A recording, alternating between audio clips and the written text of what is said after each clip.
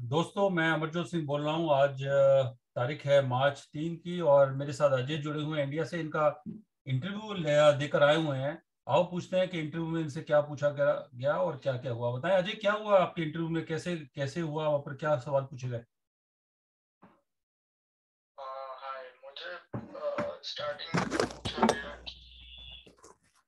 कहाँ मिले, कौन सी तारीख को मिले और कम्युनिकेशन का मीडियम क्या होता है? मतलब किस प्रोग्राम से बात करते हैं? और इसके पहले लास्ट टाइम कब मिले थे? और और एक्चुअली मेरे जो वेडिंग थी वो फॉर्मल सेरेमनी थी तो उसमें उसके कोई तरफ़ से फैमिली मेंबर प्रेजेंट नहीं था। हम्म। तो पूछा गया था कि क्यों नहीं थे प्रेजेंट हम्म। और हाँ। तो आपका आपका केस कुछ हाँ. आपका केस था क्या? थोड़ा सा बताएँगे क्या था आपका मतलब कि आपका एज गैप है रिलीजन फ़र्क है क्या कोई प्रॉब्लम क्या थी? मतलब आपके थोड़ा थोड़ा बताएँ ज़्यादा बताने की ज़रूरत नहीं है प्राइवेसी आपकी होती है। तो क्या हाँ एक्चुअली एक्चुअली मेरा वेडिंग 2017 में था और हम लोगों ने एप्लीकेशन फ़ाइल 2019 में किया था और हमारा कम्युनिकेशन हिस्ट्री 2012 से था। तो शायद उनको यही डाउट था कि इतना लॉन्ग ड्यूरेशन क्यों था एप्लीकेशन प्रोसेस के टुवर्ड्स हम्म हम्म। हाँ।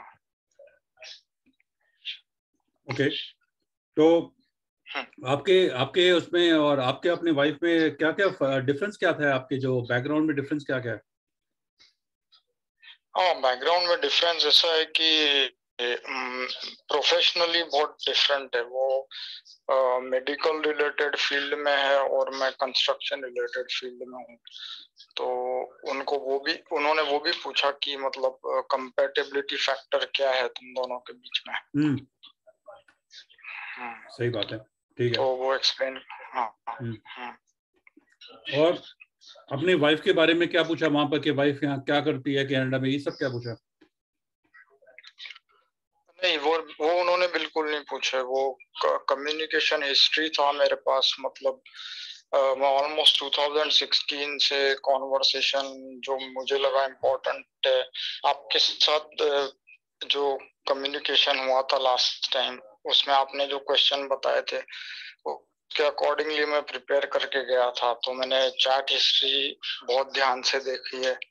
तो मुझे लगा कि कुछ इम्पोर्टेंट चीज़ें हैं जो वो लोग नोटिस करेंगे या शायद उन, उनको रियलाइज़ होगा कि ये इम्पोर्टेंट है कॉन्वर्सेशन इन दोनों के बीच के। तो वो मैं स्क्रीनशॉट लेके गया था तो ऑलमोस्ट वो क्वेश्चन जो उन्होंने मुझे पूछे उन सबका आंसर मेरे पास था एक चैट के थ्रू जो जो प्रीवियस चैट थी चार साल पहले की तीन साल पहले की हम्म। ऐसे ऐसे कौन कौन से क्वेश्चन आए जो हमने पहले डिस्कस कर चुके हैं आपसे आपने जो मुझे बताया था उसके हिसाब से क्वेश्चन जो थे वो थे कि आप कैसे मिले हो हम्म। मतलब how did you meet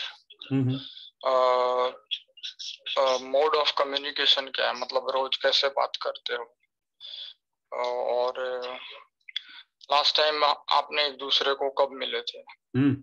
हम्म। और आपने ये भी मुझे क्वेश्चन दिया था कि अगर उसकी फैमिली प्रेजेंट नहीं थी तो क्यों नहीं थी तो वो भी क्वेश्चन उन्होंने पूछा मुझे।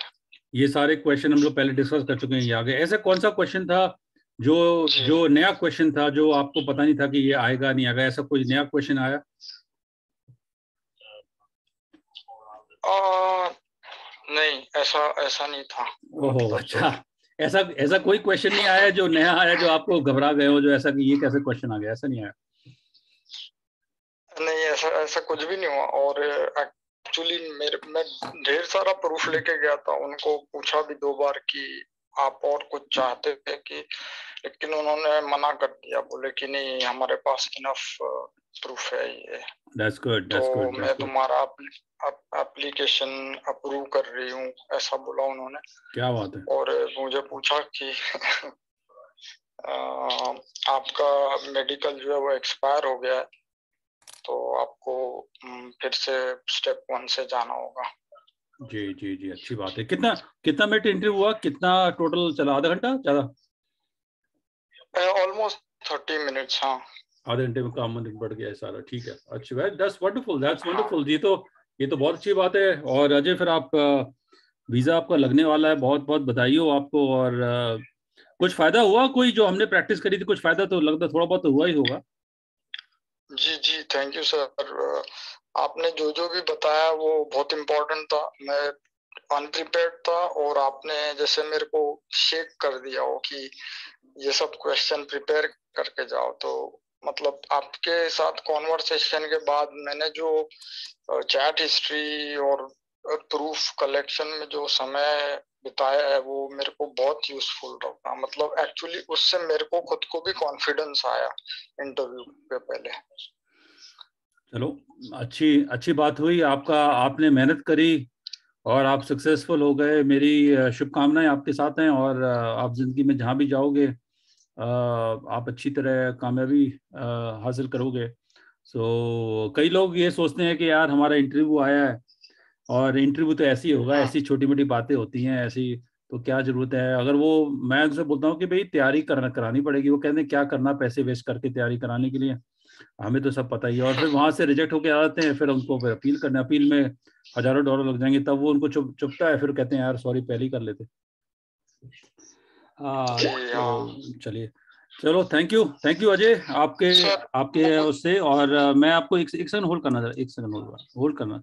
तो मैं आपको एक बार एक बार थैंक यू करना चाहता हूँ कि आपने वो कर लिया, अच्छी आपको लगा और फ़ायदा हुआ। So I am greatly thankful to you right just a minute